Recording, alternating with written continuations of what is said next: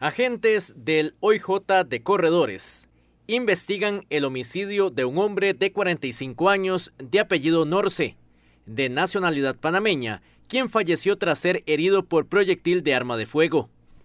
Los informes preliminares sobre este caso indican que los hechos se dieron en el sector de la cuesta en Corredores, cuando el ahora fallecido se encontraba en camino a su casa de habitación y fue abordado por varios sujetos en un vehículo, quienes, en apariencia, le dispararon en seis ocasiones en la zona de la espalda. Según los datos que se manejan, los sospechosos habrían huido del sitio y a unos cuantos kilómetros dejaron abandonado y quemado en vía pública el vehículo en el que viajaban.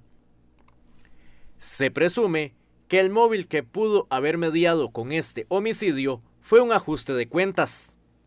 Los agentes judiciales de esa zona realizaron el levantamiento del cuerpo que fue trasladado a la morgue judicial para realizar la respectiva autopsia.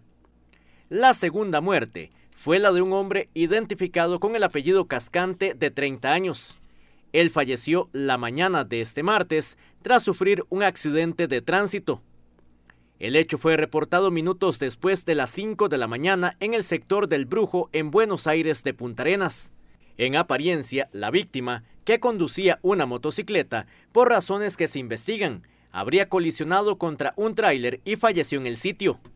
Se realizan en este momento las diligencias pertinentes para determinar con exactitud lo sucedido en este lamentable hecho. Dos muertes violentas que se registraron en la región brunca del país durante las últimas 24 horas.